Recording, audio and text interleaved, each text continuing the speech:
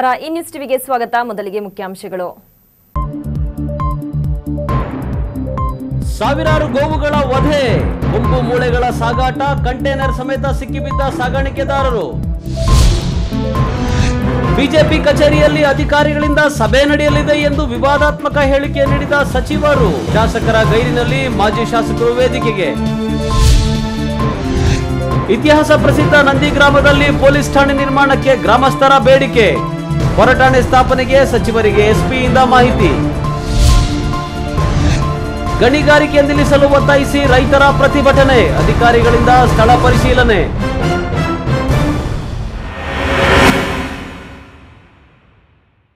ವಾರ್ತೆಗಳ ವಿವರ. ಸಾವಿರಾರು ಗೋವುಗಳನ್ನು ವಧೆ ಮಾಡಿ ಕಾನೂನು ಬಾಹಿರವಾಗಿ ಮೂಳೆ ಮತ್ತು ಕೊಂಬುಗಳನ್ನು ಅಕ್ರಮವಾಗಿ ಸಾಗಿಸುತ್ತಿದ್ದ ಮೂವರನ್ನು ಗೋವುಗಳ ಮೂಳೆ ಮತ್ತು ಕೊಂಬುಗಳ ಕಳ್ಳ ಸಾಗಾಣಿಕೆಗೆ ಬಳಕೆ ಮಾಡಿದ ಕ್ರಷರ್ ವಾಹನಗಳನ್ನು ಬಿಜೆಪಿ ಕಾರ್ಯಕರ್ತರು ತಡೆದು ಬಾಗೇಪಲ್ಲಿ ಪೊಲೀಸರಿಗೆ ಒಪ್ಪಿಸಿರುವ ಘಟನೆ ನಡೆದಿದೆ.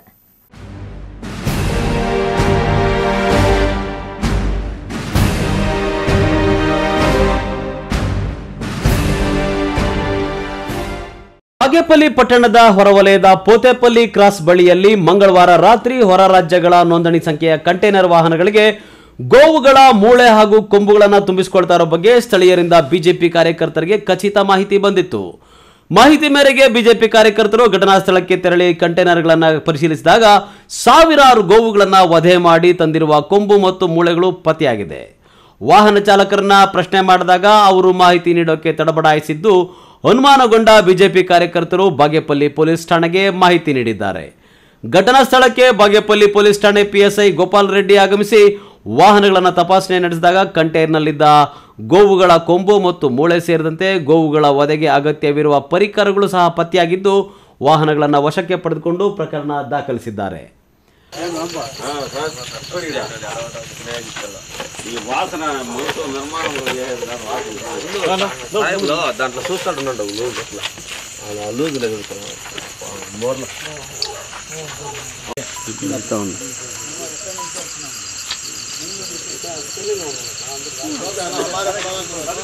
ಗೋವುಗಳ ಕೊಂಬು ಮತ್ತು ಮೂಳೆಗಳ ಅಕ್ರಮ ಸಾಗಾಣಿಕೆಯಲ್ಲಿ ಭಾಗಿಯಾಗಿದ್ದ ಬೆಂಗಳೂರಿನ ಮೂವತ್ತೇಳು ವರ್ಷದ ತೌಸೀಫ್ ಉತ್ತರ ಪ್ರದೇಶದ ಮೀರತ್ ಜಿಲ್ಲೆಯ ನಲವತ್ತಾರು ವರ್ಷದ ಸದಾಕತ್ ಅಲಿ ಜಾರ್ಖಂಡ್ ರಾಜ್ಯದ ಜಮ್ಶೆಡ್ನ ಮೊಹಮ್ಮದ್ ಬಶೀರ್ ಅನ್ಸಾರಿ ವಿರುದ್ಧ ಬಾಗೇಪಲ್ಲಿ ಪೊಲೀಸ್ ಠಾಣೆಯಲ್ಲಿ ಪ್ರಕರಣ ದಾಖಲಾಗಿದೆ. ಇನ್ನು ಬಾಗೇಪಲ್ಲಿ ತಾಲೂಕಿನ ಗಂಟಂವಾರಪಲ್ಲಿ ಗ್ರಾಮ ಪಂಚಾಯಿತಿ ವತಿಯಿಂದ ನೀಡಿರುವ ಪೌಲ್ಟ್ರಿ ಫಾರಂ ಪರವಾನಗಿ ಹೆಸರಿನಲ್ಲಿ ಪೋತೆಪಲ್ಲಿ ಗ್ರಾಮದ ಬಳಿ ನಿರ್ಮಿಸಿರುವ ಗೋಡೌನ್ನಲ್ಲಿ ಗೋವುಗಳ ಕೊಂಬುಗಳನ್ನ ಮೂಳೆಗಳನ್ನ ದಾಸ್ತಾನು ಮಾಡಿ ಕಂಟೈನರ್ ಮೂಲಕ ದಿನನಿತ್ಯ ಹೊರ ರಾಜ್ಯಗಳಿಗೆ ಸಾಗಿಸಲಾಗ್ತಾ ಇತ್ತು. ಸ್ಥಳೀಯ ಗ್ರಾಮಸ್ಥರು ದಂಧೆಗೆ ವಿರೋಧ ವ್ಯಕ್ತಪಡಿಸಿದ್ರೂ ಸಹ ದಂಧೆಯನ್ನ ಮುಂದುವರಿಸ್ತಾ ಇದ್ದದ್ದಾಗಿ ಪೋತೆಪಲ್ಲಿ ಗ್ರಾಮಸ್ಥರು ಆರೋಪಿಸಿದ್ದಾರೆ. ಏನು ಇವತ್ತು ಈ ಮೂರು ಕಂಟೈನರ್ ಸಿಕ್ಕಿವೋ? ದನದ ಮಾಂಸ ಮತ್ತು ಕೊಂಬುಗಳು ಸಪ್ಲೈ ಆಗ್ತಾ ಇದೆ ಅಂತ ನಮಗೆ ಮೆಸೇಜ್ ಬಂದಿತ್ತು. ನಮ್ಮ ಕಾರ್ಯಕರ್ತರು ಇಲ್ಲಿ ಅಡ್ಡಿ ಹಾಕಿದ್ರು. ನಾವು ಬಂದಿದ್ದೀವಿ. ನೋಡಿದರೆ ಸುಮಾರು ಒಂದು ಹತ್ತರಿಂದ ಇಪ್ಪತ್ತು ಸಾವಿರ ಹಸುಗಳನ್ನು ಕಡಿದಂಗಾಗಿದೆ. ಅಷ್ಟು ಕೊಂಬುಗಳು, ಅಷ್ಟು ಮಾಂಸ ಇದೆ ಇದರಲ್ಲಿ. ಇದು ಸುತ್ತು ಬಾಗೇಪಲ್ಲಿಯಲ್ಲೇ ನಡೆದಿಲ್ಲ, ನಡೆದಿದೆ ಅಂತ ನಾವು ಹೇಳೋಕ್ಕಾಗಲ್ಲ. ಎಂಟೈರ್ ಇದು ಸುತ್ತಮುತ್ತಲಿರ್ತಕ್ಕಂಥ ಎಲ್ಲ ತಾಲೂಕುಗಳಿಂದ ಬಂದಿರತಕ್ಕಂಥ ಮಾಲ್ ಇದು ಹಾಗಾಗಿ ಸಂಬಂಧಿಸಿದ, ಇದಕ್ಕೆ ಸಂಬಂಧಿಸಿದ ಏನು ಅನೈತಿಕ ಚಟುವಟಿಕೆಗಳೇನು ಇದರಲ್ಲಿ ಭಾಗಿಯಾಗಿದ್ದಾರೋ, ಅವರೆನ್, ಅವರೆಲ್ಲರನ್ನು ಅರೆಸ್ಟ್ ಮಾಡಿ, ಗಾಡಿಗಳನ್ನು ಸೀಜ್ ಮಾಡಿ, ಇಂಥ ಕಾರ್ಯದಲ್ಲಿ ತೊಡಗಿದ ತೊಡಗಿರ್ತಕ್ಕಂಥ ಎಲ್ಲ ಎಲ್ಲರನ್ನು ಅರೆಸ್ಟ್ ಮಾಡಿ, ಇದಕ್ಕೆ ರಾಷ್ಟ್ರ ರಾಷ್ಟ್ರವ್ಯಾಪ್ತಿ ಇದು ಮೆಸೇಜ್ ಹೋಗಬೇಕಂತ ತಮ್ಮಲ್ಲಿ ನಾನು ಮಾಧ್ಯಮದವರ ಮುಂದೆ ನಾನು ಮನವಿ ಮಾಡ್ಕೊಳ್ತಾ ಇದ್ದೀನಿ. ಈ ಸಂದರ್ಭದಲ್ಲಿ ಬಿಜೆಪಿ ಮಂಡಲಾಧ್ಯಕ್ಷ ಆರ್ ಪ್ರತಾಪ್, ಎಸ್ಸಿ ಮೋರ್ಚಾ ಜಿಲ್ಲಾಧ್ಯಕ್ಷ ವೆಂಕಟೇಶ್, ಜಿಲ್ಲಾ ಗೋರ ಸಂರಕ್ಷಣಾ ಸಹ ಸಂಚಾಲಕ ಟಿ ರಾಮಪ್ಪ ಮುಂತಾದವರು ಭಾಗವಹಿಸಿದ್ದರು. ಪಿ ಮಂಜುನಾಥ್ ರೆಡ್ಡಿ, ಈ ನ್ಯೂಸ್ ಟಿವಿ ಬಾಗೇಪಲ್ಲಿ.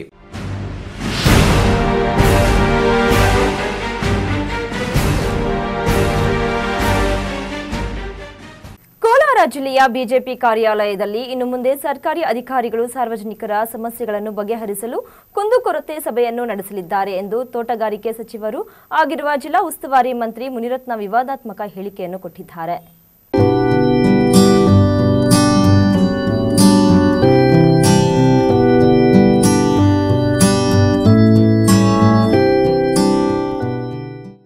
ಕೋಲಾರ ಜಿಲ್ಲೆಯಲ್ಲಿ ಇಂದು ಜಿಲ್ಲಾ ಉಸ್ತುವಾರಿ ಸಚಿವ ಮುನಿರತ್ನ ಹಾಗೂ ಆರೋಗ್ಯ ಸಚಿವ ಡಾಕ್ಟರ್ ಕೆ ಸುಧಾಕರ್ ಅವರು ಇಡೀ ದಿನ ಪ್ರವಾಸವನ್ನ ಕೈಗೊಂಡಿದ್ದರು.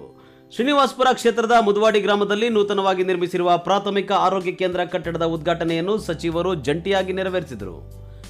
ಇದೇ ಸಂದರ್ಭದಲ್ಲಿ ಬೈರಗಾನಪಲ್ಲಿ ಲಕ್ಷ್ಮೀಸಾಗರ ಗ್ರಾಮಗಳಲ್ಲಿನ ಆರೋಗ್ಯ ಕೇಂದ್ರಗಳ ನೂತನ ಕಟ್ಟಡವನ್ನ ಹಾಗೂ ಶ್ರೀನಿವಾಸಪುರ ಮುಳಬಾಗಲು ತಾಲೂಕು ಆಸ್ಪತ್ರೆಗಳ ಆಕ್ಸಿಜನ್ ಘಟಕಗಳನ್ನು ಲೋಕಾರ್ಪಣೆ ಮಾಡಲಾಯಿತು. ಇದೇ ಸಂದರ್ಭದಲ್ಲಿ ಮುದುವಾಡಿ ಕೆರೆಗೆ ಸಚಿವ ದ್ವಯರು ಬಾಗಿನ ಅರ್ಪಿಸಿದರು. ಆರೋಗ್ಯ ಕೇಂದ್ರವನ್ನ ಉದ್ಘಾಟಿಸಿದ ಉಸ್ತುವಾರಿ ಸಚಿವ ಮುನಿರತ್ನ ಅವರು ಸಭೆಯನ್ನ ಉದ್ದೇಶಿಸಿ ಮಾತನಾಡಿ, ಕೋಲಾರ ಜಿಲ್ಲೆಯ ಆರು ತಾಲೂಕುಗಳಲ್ಲಿ ಶೀಘ್ರದಲ್ಲೇ ಬಿಜೆಪಿ ಕಚೇರಿಗಳನ್ನು ತೆರೆಯಲಾಗುವುದು. ಜಿಲ್ಲಾ ಮಟ್ಟದ ಅಧಿಕಾರಿಗಳು ನಿಗದಿತ ದಿನಾಂಕಗಳಂದು ಬಿಜೆಪಿ ಕಚೇರಿಗಳಲ್ಲಿ ಹಾಜರಿದ್ದು ಸಾರ್ವಜನಿಕರ ಸಮಸ್ಯೆಗಳನ್ನು ಬಗೆಹರಿಸಲು ಕ್ರಮ ಜರುಗಿಸುವರು ಎಂದು ಮುನಿರತ್ನ ಹೇಳಿದರು. ಸಾರ್ವಜನಿಕರಿಗೆ ಇರ್ತಕ್ಕಂಥ ಏನೇ ಸಮಸ್ಯೆಗಳಿದ್ರು ನೇರವಾಗಿ ಭೇಟಿ ಮಾಡುವಂಥ ಕಾರ್ಯಕ್ರಮಕ್ಕೆ ಒಂದು ಕಚೇರಿನ ಸಹಾಯಲ್ಲಿ ತೆರೀತಾ ಇದ್ದೇವೆ. ಆರು ತಾಲೂಕುಗಳಲ್ಲೂ ನಮ್ಮ ಪಕ್ಷದ ಕಚೇರಿ ಇರುತ್ತೆ.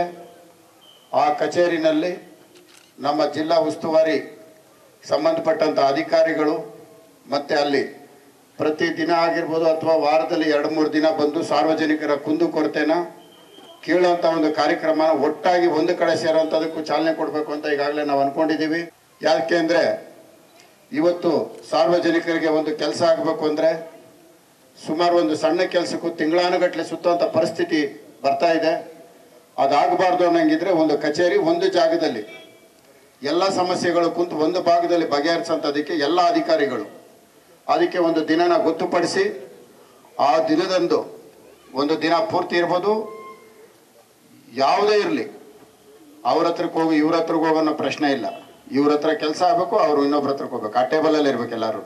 ಇನ್ನು ಸಮಾರಂಭದ ನಂತರ ಸುದ್ದಿಗಾರರ ಜೊತೆ ಮಾತನಾಡಿದ ಆರೋಗ್ಯ ಸಚಿವ ಡಾಕ್ಟರ್ ಕೆ ಸುಧಾಕರ್ ಅವರು, ಕೋವಿಡ್ ಲಸಿಕೆಯನ್ನ ಪಡೆದುಕೊಳ್ಳುವಂತೆ ಮುಗ್ಧ ಜನತೆಗೆ ಜನಪ್ರತಿನಿಧಿಗಳು ಪ್ರೋತ್ಸಾಹಿಸಬೇಕು ಎಂದು ಹೇಳಿದರು. ಇಂದಿನ ಸಭೆಗೆ ಗೈರು ಹಾಜರಾಗಿರುವ ಶ್ರೀನಿವಾಸಪುರ ಕ್ಷೇತ್ರದ ಶಾಸಕರು ಆದ ಕಾಂಗ್ರೆಸ್ನ ರಮೇಶ್ ಕುಮಾರ್ ಅವರು ಈ ನೂತನ ಕಟ್ಟಡಗಳಿಗೆ ಇದಕ್ಕೂ ಮೊದಲು ಪೂಜೆ ನೆರವೇರಿಸಿರೋ ಬಗ್ಗೆ ಗೊತ್ತಿಲ್ಲ. ಇಂದಿನ ಕಾರ್ಯಕ್ರಮದಲ್ಲಿ ಹೊಸ ಕಟ್ಟಡಗಳನ್ನು ಲೋಕಾರ್ಪಣೆ ಮಾಡಲಾಗಿದೆ ಎಂದು ಸ್ಪಷ್ಟಪಡಿಸಿದರು. ಅಧಿಕೃತ, ಅಧಿಕೃತವಾಗಿ ಸರ್ಕಾರದಿಂದ ಇವತ್ತು ಮಾನ್ಯ ಜಿಲ್ಲಾ ಉಸ್ತುವಾರಿ ಸಚಿವರು, ಮಾನ್ಯ ಸಂಸತ್ ಸದಸ್ಯರು, ಆರೋಗ್ಯ ಸಚಿವನು ಇವತ್ತು ಕಾರ್ಯಕ್ರಮ ಕೊಟ್ಟಿದ್ದೀವಿ. ಇಲ್ಲೇ ಅಫಿಷಿಯಲ್ ಇನ್ವಿಟೇಷನ್ ಇದೆ. ಎಲ್ಲ ಚುನಾಯಿತ ಪ್ರತಿನಿಧಿಗಳ ಹೆಸರು ಇದರಲ್ಲೇ ಇದೆ. ಬೋರ್ಡು ನೋಡ್ಕೋಬೋದು. ಇವತ್ತು ಬಂದಿದ್ದೀವಿ, ಉದ್ಘಾಟನೆ ಮಾಡಿದ್ದೀವಿ ನನಗೆ ಗೊತ್ತಿಲ್ಲ, ಯಾರು ಯಾರು ಇದಕ್ಕೆ ಮುಂಚೆ ಬಂದು ಮಾಡ್ಕೊಂಡು ಹೋಗಿದ್ದಾರೆ ನನಗೆ ಗೊತ್ತಿಲ್ಲ. ಐ ಡೋಂಟ್ ನೋ ಅವರು ಕೂಡ ಗೌರ್ಮೆಂಟಲ್ಲಿ ಕೆಲಸ ಮಾಡಿದ್ದಾರೆ. As a minister years also work ಒಂದು ಅಫಿಷಿಯಲ್ ಪ್ರೋಗ್ರಾಮ್ನ ಗೊತ್ತುಪಡಿಸುವಂಥದ್ದು ಸರ್ಕಾರ. ಸರ್ಕಾರ ಗೊತ್ತುಪಡಿಸಿರುವಂಥ ದಿನಾಂಕ ಬಂದು ಅವರು ಕೂಡ ಇವತ್ತು ಈ ಸಭೆಯಲ್ಲಿ ಪಾಲ್ಗೊಂಡಿದ್ದಿದ್ರೆ ಅದು ಶೋಭೆ ತರುವಂಥದ್ದು. ಇವತ್ತು ಬಂದಿಲ್ಲ, ದುರದೃಷ್ಟ ಅವ್ರು ಬಂದಿಲ್ಲ. ಅದಕ್ಕೆ ನಾನು ಇನ್ನೇನು ವ್ಯಾಖ್ಯಾನ ಮಾಡಲಿಕ್ಕೆ ಇಷ್ಟಪಡ್ತೀನಿ ಇನ್ನು ವಿರೋಧ ಪಕ್ಷಗಳ ಶಾಸಕರ ಜೊತೆಗೆ ಅಭಿವೃದ್ಧಿ ಕೆಲಸದಲ್ಲಿ ಉತ್ತಮ ಬಾಂಧವ್ಯವಿದೆ ಅಂತ ಸುಧಾಕರ್ ಅವರು ಹೇಳಿದರು. ಇನ್ನು ಶ್ರೀನಿವಾಸಪುರ ಕ್ಷೇತ್ರದ ಮಾಜಿ ಶಾಸಕ ಜೆಡಿಎಸ್ನ ಜಿ ಕೆ ವೆಂಕಟಶಿವಾರೆಡ್ಡಿ ಅವರನ್ನು ಸಚಿವ ದ್ವಯರು ಇಂದಿನ ಸಮಾರಂಭದ ವೇದಿಕೆಯಲ್ಲಿ ಇರಿಸಿಕೊಂಡಿದ್ದು, ಅಲ್ಲಿದ್ದ ಬಿಜೆಪಿ ಮತ್ತು ಕಾಂಗ್ರೆಸ್ ಕಾರ್ಯಕರ್ತರಲ್ಲಿ ಆಶ್ಚರ್ಯಕ್ಕೆ ಕಾರಣವಾಯಿತು. ಕಾಂಗ್ರೆಸ್ನ ಶಾಸಕ ರಮೇಶ್ ಕುಮಾರ್ ಅವರನ್ನ ರಾಜಕೀಯವಾಗಿ ಹಣಿಯಲು ಬಿಜೆಪಿ ಮುಖಂಡರು ಈ ಕ್ರಮಕ್ಕೆ ಮುಂದಾಗಿದ್ದಾರೆ ಎಂಬ ವ್ಯಾಖ್ಯಾನ ಅಲ್ಲಿ ಕೇಳಿಬಂದಿತ್ತು. Ramu, A news TV, Kolar.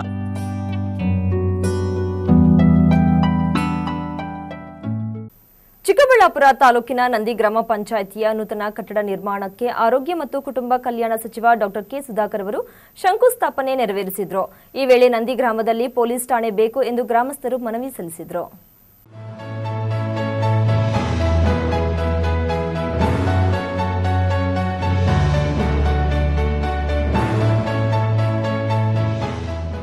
Chikkaballapur ತಾಲೂಕಿನ ನಂದಿ ಗ್ರಾಮ ಪಂಚಾಯಿತಿ ವ್ಯಾಪ್ತಿಯ ನಂದಿ ಗ್ರಾಮದ ದೊಡ್ಡಬಳ್ಳಾಪುರ ರಸ್ತೆಯಲ್ಲಿ ನಿರ್ಮಾಣವಾಗಲಿರುವ ನೂತನ ಗ್ರಾಮ ಪಂಚಾಯಿತಿ ಕಟ್ಟಡಕ್ಕೆ ಆರೋಗ್ಯ ಮತ್ತು ಕುಟುಂಬ ಕಲ್ಯಾಣ ಸಚಿವ ಹಾಗೂ ವೈದ್ಯಕೀಯ ಶಿಕ್ಷಣ ಸಚಿವ ಡಾಕ್ಟರ್ ಕೆ ಸುಧಾಕರ್ ಗುದ್ದಲಿ ಪೂಜೆ ನೆರವೇರಿಸಿದರು.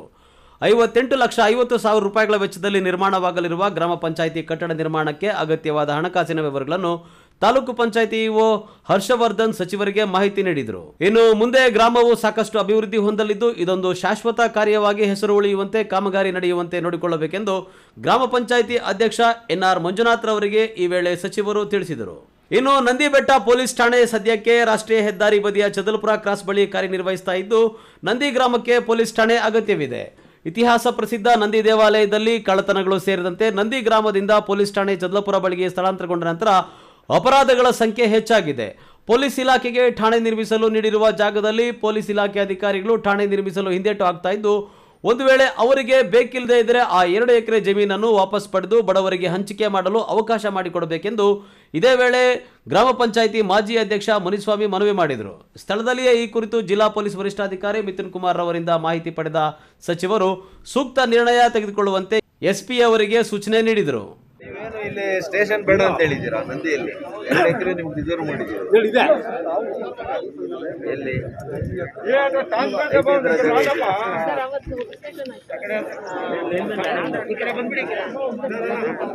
ಜಾಗ ಇದೆಯಾ? ಎಷ್ಟಿದೆ? ಎಷ್ಟಿದೆ? ಸರ್ ಒಂದೇ ಒಂದು ನಿಮಿಷ ನಾನು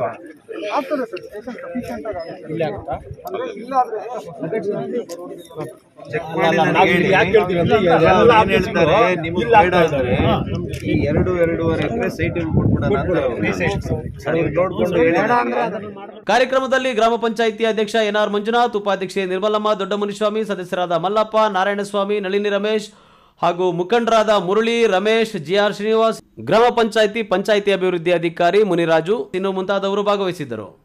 ಸದಾಶಿವ ಆರಾಧ್ಯ, ಈ news TV bureau Chikkaballapur.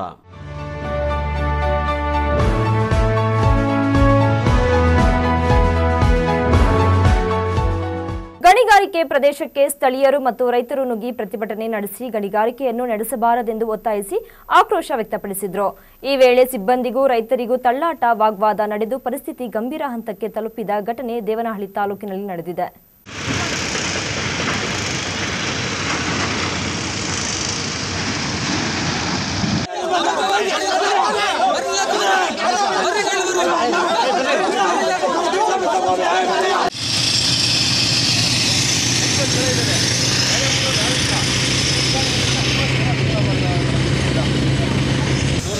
Bengaluru ಗ್ರಾಮಾಂತರ ಜಿಲ್ಲೆಯ ದೇವನಹಳ್ಳಿ ತಾಲೂಕಿನ ತೈಲಗೆರೆ ಸರ್ವೆ ನಂಬರ್ ನೂರ ಹತ್ತರಲ್ಲಿ ಐವತ್ತೈದು ಎಕರೆ ಹದಿನಾರು ಗುಂಟೆ ಜಾಗದಲ್ಲಿ ಗಣಿಗಾರಿಕೆಗೆ ಅನುಮತಿ ನೀಡಿದ್ದು, ಸರ್ಕಾರದಲ್ಲಿ ಹದಿನಾಲ್ಕು ಲೀಸ್ಗಳು ಮತ್ತು ಮುದ್ದನಾಯಕನಹಳ್ಳಿ ಸರ್ವೆ ನಂಬರ್ ನೂರ ಹನ್ನೆರಡರಲ್ಲಿ ಎರಡು ಲೀಸ್ಗಳಿಗೆ ಅನುಮತಿಯನ್ನ ನೀಡಲಾಗಿದೆ. ಲೀಸ್ ನೀಡಿದ್ರಿಂದ ಸರ್ಕಾರಕ್ಕೆ ರಾಜಧನವಾಗಿ ಕಳೆದ ವರ್ಷ ಹನ್ನೊಂದು ಕೋಟಿ ಐವತ್ತು ಲಕ್ಷ ಮತ್ತು ಪ್ರಸ್ತುತ ವರ್ಷ ಎರಡು ಕೋಟಿ ಎಪ್ಪತ್ತು ಲಕ್ಷ ರೂಪಾಯಿ ರಾಜಧನ ಬಂದಿದೆ. ಆದರೆ ಇದೇ ವೇಳೆ ಸ್ಥಳೀಯವಾಗಿ ರೈತರ ವಿರೋಧ ವ್ಯಕ್ತವಾಗಿದ್ದು, ಈ ಭಾಗದಲ್ಲಿ ನಡೆಯುತ್ತಿರುವ ಗಣಿಗಾರಿಕೆಯನ್ನು ನಿಲ್ಲಿಸಬೇಕು ಅಂತ ಸ್ಥಳೀಯರು ಮತ್ತು ರೈತರು ಪ್ರತಿಭಟನೆ ನಡೆಸಿದರು. ಕೆಲಕಾಲ ರೈತರು ಮತ್ತು ಗಣಿ ಕ್ರಷರ್ ಮಾಲೀಕರು ಮತ್ತು ಸಿಬ್ಬಂದಿಗಳೊಂದಿಗೆ ಮಾತಿನ ಚಕಮಕಿ ಕೂಡ ನಡೆಯಿತು. ಇನ್ನು ಸ್ಥಳಕ್ಕೆ ವಿಶ್ವನಾಥ್ಪುರ ಪೊಲೀಸರು ಮತ್ತು Vijayapura circle inspector T Srinivas ಭೇಟಿ ನೀಡಿ ಗಣಿಗಾರಿಕೆಗೆ ಸಂಬಂಧಿಸಿದಂತೆ ಪದೇ ಪದೇ ನಡೆಯುತ್ತಿರುವ ಈ ಪ್ರತಿಭಟನೆಗಳಿಗೆ ತೆರೆ ಎಳೆಯಬೇಕೆಂದು ಸಭೆ ಕರೆಯುವ ಸಲಹೆ ನೀಡಿದರು. ಇನ್ನು ಇದೇ ವೇಳೆ ಗಣಿಗಾರಿಕೆ ಪ್ರದೇಶದಲ್ಲಿ ರೈತರು ಪ್ರತಿಭಟನೆಯನ್ನು ನಡೆಸ್ತಾ ಇರೋ ಸುದ್ದಿ ಆಗ್ತಾ ಇದ್ದಂತೆ ಸ್ಥಳಕ್ಕೆ ಸರ್ಕಾರದ ಗಣಿ ಮತ್ತು ಭೂವಿಜ್ಞಾನ ಇಲಾಖೆಯ ಜಂಟಿ ಆಯುಕ್ತರಾದ ಡಾಕ್ಟರ್ ಲಕ್ಷ್ಮಮ್ಮ ಅವರು ಭೇಟಿ ನೀಡಿ ಗಣಿಗಾರಿಕೆ ನಡೆಯುವ ಪ್ರದೇಶದ ಸ್ಥಳ ಪರಿಶೀಲನೆ ನಡೆಸಿದರು. ಈ ವೇಳೆ ಸರ್ಕಾರದ ಗಣಿ ಮತ್ತು ಭೂವಿಜ್ಞಾನ ಇಲಾಖೆಯ ಜಂಟಿ ಆಯುಕ್ತೆ ಡಾಕ್ಟರ್ ಲಕ್ಷ್ಮಮ್ಮ ಅವರು ಮಾತನಾಡಿ, ಕಾನೂನುಬದ್ಧವಾಗಿ ಗಣಿಗಾರಿಕೆ ನಡೆಸಲು ಅನುಮತಿಯನ್ನು ಸರ್ಕಾರದ ಹಂತದಲ್ಲಿ ಗಣಿ ಮತ್ತು ಭೂವಿಜ್ಞಾನ ಇಲಾಖೆಯಿಂದ ನೀಡಲಾಗಿದೆ. ಗಣಿಗಾರಿಕೆ ನಡೆಯುತ್ತಿರುವ ಪ್ರದೇಶದ ಸುತ್ತಲೂ ಸುರಕ್ಷತೆಗಾಗಿ ಫೆನ್ಸಿಂಗ್ ಅಳವಡಿಸಲಾಗಿದ್ದು, ಅಲ್ಲಲ್ಲಿ ನಾಮಫಲಕವನ್ನು ಸಹ ಹಾಕಲಾಗಿದೆ. ಇನ್ನು ಗಣಿಗಾರಿಕೆ ಪ್ರದೇಶದಿಂದ ಸುತ್ತಮುತ್ತಲ ರೈತರಿಗೆ ಏನಾದರೂ ತೊಂದರೆಯಾಗುತ್ತಿದ್ದರೆ ಅಥವಾ ನಷ್ಟವಾಗಿದ್ದರೆ ರೈತರಿಂದ ತಾಂತ್ರಿಕ ವರದಿಯನ್ನ ಪಡೆದುಕೊಂಡು ಪರಿಶೀಲಿಸಲಾಗುತ್ತದೆ. ಇನ್ನು ಗಣಿಗಾರಿಕೆ ಪ್ರದೇಶದಲ್ಲಿ ನಿಯಮವನ್ನ ಉಲ್ಲಂಘನೆ ಮಾಡದಂತೆ ಈಗಾಗಲೇ ಸಾಕಷ್ಟು ಸೂಚನೆ ನೀಡಿದ್ದು ಯಾವುದೇ ರೀತಿಯ ಉಲ್ಲಂಘನೆ ಕಂಡು ಬಂದಿಲ್ಲ ಎಂದು ಹೇಳಿದರು. ಐವತ್ತೈದು ಎಕರೆ ಹದಿನಾರು ಗುಂಟೆ. ಹದಿನಾರು ಗುಂಟೆ ಜಾಗದಲ್ಲಿ ನಾವು ಗಣಿಗಾರಿಕೆಗೆ ಪರ್ಮಿಷನ್ ಕೊಟ್ಟಿದ್ದಾರೆ. ಇವರು ಉಪನಿರ್ದೇಶಕರು, ಗ್ರಾಮಾಂತರ, ಬೆಂಗಳೂರು ಗ್ರಾಮಾಂತರದ ಉಪನಿರ್ದೇಶಕರು ಇಲ್ಲೇ ಇದ್ದಾರೆ. ಅವರು ಕೊಟ್ಟಿರ್ತಕ್ಕಂಥ ಮಾಹಿತಿ ಪ್ರಕಾರ ಸರ್ವೆ ನಂಬರ್ ಹತ್ತು ನೂರ ಹತ್ತು ತೈಲ್ಗೆರೆನಲ್ಲಿ ಹದಿನಾಲ್ಕು ಲೀಸ್ ಕೊಟ್ಟಿದ್ದಾರೆ. ಐವತ್ತೈದು ಎಕರೆ ಹದಿನಾರು ಗುಂಟೆನಲ್ಲಿ. ಮದ್ನಾಯಕನಹಳ್ಳಿನಲ್ಲಿ ಸರ್ವೆ ನಂಬರ್ ನೂರ ಹನ್ನೆರಡರಲ್ಲಿ ಎರಡು ಲೀಸನ್ನು ಕೊಟ್ಟಿದ್ದಾರೆ. ಈ ಎಲ್ಲ ಲೀಸ್ಗಳು ಕೂಡ ಲೀಗಲ್ ಆಗಿ ನಮ್ಮ ಇಲಾಖೆಯಿಂದ ಪರ್ಮಿಷನ್ ಕೊಟ್ಟು ಗಣಿಗಾರಿಕೆ ನಡೀತಾ ಇರತಕ್ಕಂಥ ಪ್ರದೇಶ. ಇಲ್ಲಿ ಸುತ್ತಲೂ ಒಂದೇ ಇದರಲ್ಲಿ ಅಕ್ಕಪಕ್ಕದಲ್ಲೇ ಲೀಸ್ಗಳು ಇದ್ದಿದ್ದರಿಂದ ಗಣಿಗಾರಿಕೆಯಿಂದ ಏನಾದ್ರು ಅನಾಹುತಗಳಾಗ್ಬೋದು, ಅದನ್ನು ಸಂಭವಿಸೋದನ್ನ ತಡೆಗಟ್ಟೋ ಒಂದು ಹಿತದೃಷ್ಟಿಯಿಂದ ಕ್ಲಸ್ಟರ್ ಅಂತ ಮಾಡಿ ಸುತ್ತಲೂ ಫೆನ್ಸಿಂಗ್ ಹಾಕಿದ್ದಾರೆ. ಅಲ್ಲಲ್ಲಿ ನಾಮಫಲಕಗಳನ್ನ ಅಳವಡಿಸಿದ್ರು. ಅದು ಬೇಡ. ಎಲ್ಲರಿಗೂ ಗೊತ್ತಾಗೋ ಥರ ಎಲ್ಲ ಲೀಸ್ಗಳು ಹದಿನಾಲ್ಕು ಲೀಸು ಕ್ಲಸ್ಟರ್ ಮಾಡಿರೋದ್ರಿಂದ ಮುಂದ್ಗಡೆ ಒಂದು ಜಾಗದಲ್ಲಿ ಎಲ್ಲ ಲೀಸ್ಗಳನ್ನ ಒಂದು ಪ್ರದರ್ಶನ ಮಾಡಿ ಅಂತ ಹೇಳಿದ್ದೀವಿ ಮತ್ತು ಇಲ್ಲಿ ತೆಗೆದಿರ್ತಕ್ಕಂಥ ಇದ್ರ ಬಗ್ಗೆ ಇವರು ಲಾರಿಗಳಿಂದ ಮತ್ತು ಧೂಳು ಬರ್ತಾ ಇದೆ ಅಂತ ಹೇಳ್ತಾ ಇದ್ದಾರೆ. ಅದ್ರ ಬಗ್ಗೆ ಜಿಲ್ಲಾ ಟಾಸ್ಕ್ ಫೋರ್ಸ್ ಸಮಿತಿ ಮುಖಾಂತರ ಅಗ್ರಿಕಲ್ಚರ್ ಡಿಪಾರ್ಟ್ಮೆಂಟಿಂದ ಯಾವ ಬಟ್ಟಾ ಜಮೀನುಗಳಿಗೆ ಏನಾದ್ರು ತೊಂದರೆ ಆಗ್ತಾ ಇದ್ರೆ ಅಥವಾ ಬೆಳೆ ಬೆಳೆದಿರ್ತಕ್ಕಂಥದಕ್ಕೆ ತೊಂದರೆ ಆಗ್ತಾ ಇದ್ದರೆ ಅವರಿಂದ ಒಂದು ತಾಂತ್ರಿಕ ವರದಿನ ಪಡೆದ ನಂತರ ನಾವು ಅದ್ರ ಬಗ್ಗೆ ಪರಿಶೀಲನೆಯನ್ನು ಮಾಡ್ತೇನೆ. ಆದರೆ ಸುತ್ತಮುತ್ತಲಿನ ರೈತರು ಬೆಳೆದ ಬೆಳೆಗಳಿಗೆ ಧೂಳು, ಅಂತರ್ಜಲ ಹೀಗೆ ಹಲವು ರೀತಿಯಲ್ಲಿ ತೊಂದರೆ ಆಗ್ತಾ ಇದೆ. ಇದರಿಂದ ನಷ್ಟವನ್ನು ಅನುಭವಿಸ್ತಾ ಇದ್ದೇವೆ ಎಂದು ರೈತರು ಆಕ್ರೋಶ ವ್ಯಕ್ತಪಡಿಸಿದರು. ಯಾವುದೇ ಕಾರಣಕ್ಕೂ ಗಣಿಗಾರಿಕೆ ನಡೆಸಬಾರದು ಅಂತ ಅಧಿಕಾರಿಗಳನ್ನು ಒತ್ತಾಯಿಸಿದರು. ಈ ವೇಳೆ ಜಿಲ್ಲಾ ಗಣಿ ಮತ್ತು ಭೂವಿಜ್ಞಾನ ಇಲಾಖೆಯ ಉಪನಿರ್ದೇಶಕಿ ರೇಣುಕಾ, ತಾಲೂಕು ಸಹಾಯಕಿ ಸವಿತಾ, ವಿಶ್ವನಾಥ್ಪುರ ಪೊಲೀಸ್ ಠಾಣೆಯ ಪಿಎಸ್ಐ ವೆಂಕಟೇಶ್ ಮುಂತಾದವರು ಭಾಗವಹಿಸಿದರು ಹೈದರ್ ಸಾಬ್ ಈ ನ್ಯೂಸ್ ಟಿವಿ, ದೇವನಹಳ್ಳಿ.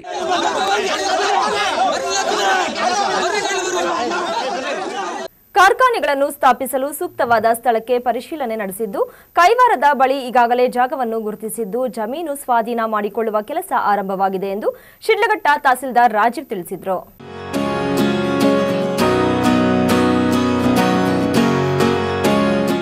ಶಿಡ್ಲಘಟ್ಟ ತಾಲೂಕು ತಿಪ್ಪೇನಹಳ್ಳಿಯ ಸರ್ಕಾರಿ ಕೈಗಾರಿಕೆ ತರಬೇತಿ ಕೇಂದ್ರದಲ್ಲಿ ಶ್ರೀ ಸತ್ಯಸಾಯಿ ಸರಳಾ ಮೆಮೋರಿಯಲ್ ಆಸ್ಪತ್ರೆ ಹಾಗೂ ಲಿಯೋ ಕ್ಲಬ್ ಆಫ್ ಶಿಡ್ಲಘಟ್ಟದ ಆಶ್ರಯದಲ್ಲಿ ರಕ್ತದಾನ ಶಿಬಿರವನ್ನು ಹಮ್ಮಿಕೊಳ್ಳಲಾಗಿತ್ತು.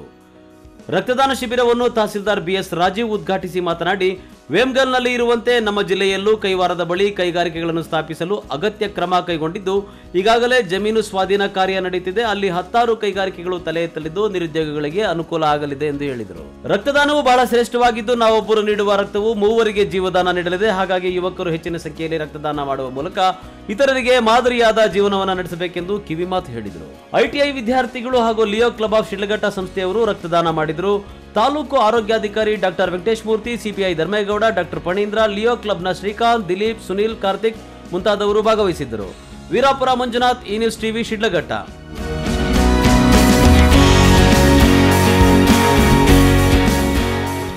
ಇತ್ತೀಚೆಗೆ ತಾನೇ ಲೋಕಾರ್ಪಣೆಗೊಂಡ ಐದು ಶತಮಾನಗಳ ಇತಿಹಾಸ ಹೊಂದಿರುವ ನೆಲಮಂಗಲ ತಾಲೂಕಿನ ಕೆಂಗಲ್ ಗ್ರಾಮದಲ್ಲಿರುವ ನೂತನ ದೇವಾಲಯದಲ್ಲಿ ಕೃಷ್ಣ ಜನ್ಮಾಷ್ಟಮಿಯನ್ನು ವಿಶೇಷವಾಗಿ ಆಚರಿಸಿದರು.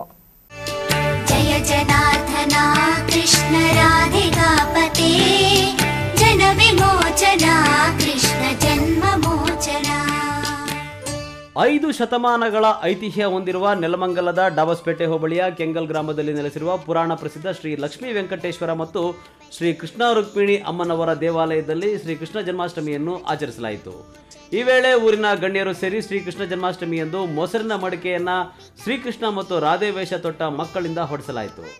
ದೇವರ ಮೆರವಣಿಗೆ ಸೇರಿದಂತೆ ಊರಿನ ಪ್ರಮುಖ ಬೀದಿಗಳಲ್ಲಿ ಬೆಳ್ಳಿಯ ರಥದ ಮೂಲಕ ಸ್ವಾಮಿಯ ಮೆರವಣಿಗೆ ನಡೆಸಲಾಯಿತು. ಊರಿನ ಒಗ್ಗಟ್ಟಿಗೆ ಅನುಕೂಲವಾಗಿದೆ ಎಂದು ದೇವಾಲಯದ ಆಡಳಿತ ಮಂಡಳಿ ಮುಖ್ಯಸ್ಥ ಹಾಗೂ ಎಪಿಎಂಸಿ ನಿರ್ದೇಶಕ ಗಂಗಣ್ಣ ತಿಳಿಸಿದರು. ಈ ದಿವಸ ನಾಡಿನಾದ್ಯಂತ ಭಾರತ ದೇಶದಲ್ಲಿ ಹಿಂದೂ ಸಂಸ್ಕಾರದ ಪ್ರಕಾರ ಎಲ್ಲರೂ ಕೂಡ ಇವತ್ತು ಶ್ರೀಕೃಷ್ಣ ಜನ್ಮಾಷ್ಟಮಿಯಿಂದ ಭಾರಿ ವಿಜೃಂಭಣೆಯಿಂದ ಆಚರಿಸ್ತಾ ಇದ್ದಾರೆ. ಇವತ್ತಿನ ದಿವಸ ಮೊದಲನೇ ಸಾರಿ ಈ ದೇವಸ್ಥಾನ ಸುಮಾರು ನಾನ್ನೂರು ವರ್ಷ ಪೂಜೆ ನಿಂತಿದ್ದ ಕಾರಣ ಈ ದಿವಸ ಸ್ವಾಮಿ ಪ್ರತಿಷ್ಠಾಪನೆಯಾಗಿ ಈ ದಿವಸ ನಮ್ಮ ಗ್ರಾಮದಲ್ಲಿ ಎಲ್ಲ ಒಗ್ಗೂಡಿ ಈ ಹೋಬಳಿ ಜನಗಳೆಲ್ಲ ಸೇರಿ ಭಾಳ ಮಕ್ಕಳನ್ನೆಲ್ಲ ಶ್ರೀಕೃಷ್ಣ ವೇಷಧಾರಿ ಮಾಡಿ ಇವತ್ತೆಲ್ಲ ಕೂಡ ಗ್ರಾಮಸ್ಥರು ಈ ಸ್ವಾಮಿ ಭಕ್ತಿಗೆ ಪಾತ್ರರಾಗಿರ್ತಾರೆ ಅಂತ ಹೇಳಕ್ಕೆ ಬಯಸ್ತಾರೆ ಇನ್ನು ಪ್ರಧಾನ ಅರ್ಚಕರಾದ ನಾರಾಯಣ ಸ್ವಾಮಿ ಹಾಗೂ ಕೃಷ್ಣ ಜನ್ಮಾಷ್ಟಮಿ ವೇಷ ಧರಿಸಿದ್ದ ಮಕ್ಕಳು ಸಂಭ್ರಮಿಸಿ ತಮ್ಮ ಅನಿಸಿಕೆಯನ್ನ ತಿಳಿಸಿದರು. ಆಟೋ ಸ್ಕೂಲಾಗೆ ಯಾವತ್ತೂ ಮಾಡಿಸಿರ್ಲಿಲ್ಲ. ಇವತ್ತು ಮಾಡಿಸಿರೋದ್ಕಿಂತ ಫುಲ್ಲು ಖುಷಿ ಆಗ್ತಿದೆ. ಎಲ್ಲ ಮಾಡ್ತಿರ್ಲಿಲ್ಲ. ಕೊರೋನಾ ತುಂಬ ಜಾಸ್ತಿ ಆಗ್ಬಿಟ್ಟೈತೆ ಆದ್ದರಿಂದ ಈ ದೇವಸ್ಥಾನದಲ್ಲಿ ಮಾಡ್ತಾ ಇದ್ದಾರೆ. ಅದರಿಂದ ನನಗೆ ತುಂಬ ಖುಷಿ ಆಗ್ತೈತೆ. ಇವ, ಈ ಸಲ, ಇದೇ ಫಸ್ಟ್ ಟೈಮ್ ನಾನು ರಾಧೆ ಥರ ಪಾಠ ಮಾಡ್ತಾ ಇರೋದು. ತುಂಬ ಖುಷಿ ಆಗ್ತೈತೆ. ಒಟ್ಟಾರೆ ಶ್ರೀಕೃಷ್ಣ ಜನ್ಮಾಷ್ಟಮಿ ಎಂದು ಕೆಂಗಲ್ ಗ್ರಾಮದಲ್ಲಿ ನೂತನ ದೇವಾಲಯದ ಜೊತೆಗೆ ಆಚರಣೆ ವಿಭಿನ್ನವಾಗಿತ್ತು. ಶಾನ್ ಎಸ್ ಎನ್ ಶಿವರಾಮ್, ಡೇರಿ ಅಧ್ಯಕ್ಷ ರಂಗಪ್ಪ, ಗ್ರಾಮ ಪಂಚಾಯತಿ ಸದಸ್ಯ ಚಿಕ್ಕೇಗೌಡ ಮುಂತಾದವರು ಭಾಗವಹಿಸಿದ್ದರು. ರಾಮ್ ಪ್ರಸಾದ್ ಈ ನ್ಯೂಸ್ ಟಿವಿ, ನೆಲಮಂಗಲ.